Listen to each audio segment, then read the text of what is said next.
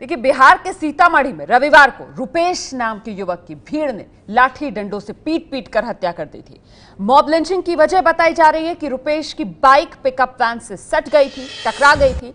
लेकिन हमारे संवाददाता प्रकाश कुमार ने सीतामढ़ी जाकर जब पड़ताल की तो पता चला कि मॉब लिंचिंग के पीछे दरअसल अवैध शराब तस्करी का विरोध बड़ी वजह हो सकता है। रुपेश के घर वालों का रो रो कर बुरा हाल है। उसके पिता और रिश्तेदार खुलेआम कह रहे हैं कि पिकअप वैन में शराब भरी हुई थी और इसी चक्कर में स्थानीय शराब माफिया ने भीड़ का सहारा लेकर रुपेश को मार डाला। बिहार में शराब पर पाबंदी है।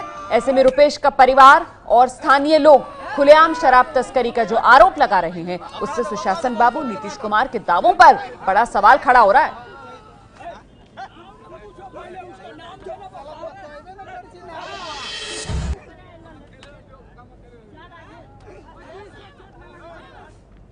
तो मॉब लिंचिंग का शिकार रुपेश के पिता का साफ़ साफ़ कहना है कि उनके बेटे को स्थानीय शराब माफिया ने मार डाला। वो कब मोटरसाइकिल लेकर निकला था और क्या हुआ था? घटना क्या कल शामे को लिया था सर कि जब बाबा हमको सब्ज़ी लाने जाना है। दारू के चक्कर में जो है उसमें दारू था ही वही दोनों का विजय पासवान का वो खाद वाले का जो है से कि दारू था इसमें। वही जो है कि जो उसको जो है से कि हल्ला करके जो है से कि मरवा दिया। चोर चोर के हल्ला ड्राइवर किया। तो जो लोग वहाँ के थे वो लोग नहीं पहचानते थे किसी को? इस लड़के को? कौन? जी नहीं वहाँ के लोग क्यों पहचानेगा इसको तो यहाँ रहता ही नहीं था। अच्छा तो साथ में जो दो लड़के थे वो कौन थे मनीष? यहाँ से तो सर मेरा वो अकेले गया। अच्छा।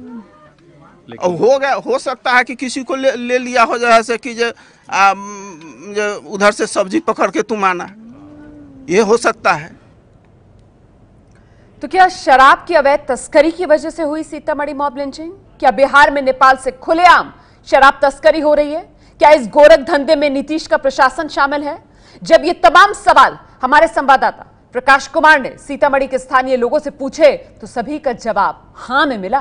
दिखाते हैं आपको मौके से प्रकाश कुमार की रिपोर्ट। रुपेश के गाँव में मातम छाया हुआ है, लोग हैरान हैं, परेशान हैं, पूछ रहे हैं कि आखिर ये घटना कैसे घटी। आपको लग रहा है कि ये जो शराब माफिया है, पूरी तरह से इस इलाके में अपनी पैठ बना चुका है और पुलिस उस पर रोक नहीं लगा पा रही है। इस वजह से इस तरह की घटना हो रही? शराब माफिया के चलते ही ऐसा घटना हुआ है, लगता है। क्योंकि वो लड़का तो यहाँ से सामान खरीदने जा रहा था सीतामढ़ी, और पिकअप वाले से उसको साइड लेने के चक्कर में कुछ तुतमय में हुआ। इस चक्कर में वो झूठा हल्ला कर करके जो हमको लूट रहा है, इस करके के वो आवाज़ लगा कर लोग को जुटाया वहाँ पे, और लोग उसको बिना पूछे, बिना कुछ समझे, उसको मारने लगा। और मार के बुरा हार कर दिया। दूसरी बात की जानकारी हम लोग को यहाँ साढ़े ग्यारह बजे मिला है जबकि घटना सुनते हैं कि छः साढ़े छः बजे का ही है। हम लोग जब यहाँ क्या से आप लोग मानते हैं कि इस इलाके में शराब की जो शराब अवैध शराब का धंधा है वो चल रहा है?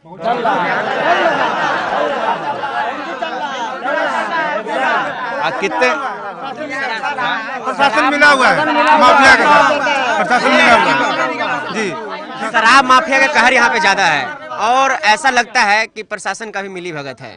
अगर ऐसा नहीं रहता तो सुबह पाँच, साढ़े पाँच की घटना है और पाँच किलोमीटर, दस किलोमीटर के चौगिर्दी में सारे थाना है।